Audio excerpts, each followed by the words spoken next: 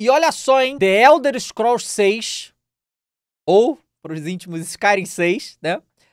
Pode ter modo multiplayer. Aqui, ó. Supostamente, é, é, vaga supostamente relacionada a Elder Scrolls 6 da vaga de empresa sugere novidade. Vamos lá. Nos textos referentes à possibilidade do cargo, qualificações desejadas, o estúdio afirma que a pessoa deve ter experiência com The Elder Scrolls Construction Set ou GEC. E também que ela tem uma grande familiaridade com uma variedade de jogos multiplayer de mundo aberto. E aí que começa a especulação, tá? Então assim, vamos lá. O que, que eu acho de um multiplayer em Skyrim?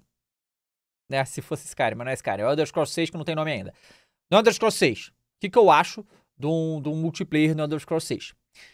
Eu acho que, se feito direito, pode ser fantástico. E multiplayer eu digo cooperativo. Os amigos dentro do, do mundo do Elder Scrolls juntos, um mundo aberto fantástico. Pode ser foda. Desculpa aí o palavreado.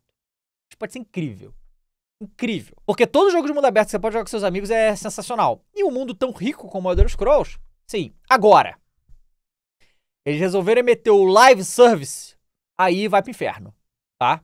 A microtransação é roupinha, passo, não sei o que. Não, isso não tem nada a ver com Elder Scrolls.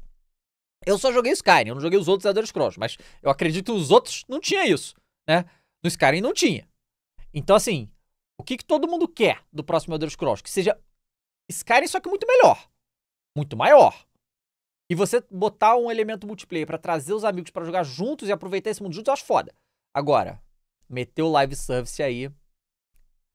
Isso ninguém vai querer, né, meus amigos? É possível? Sempre é possível.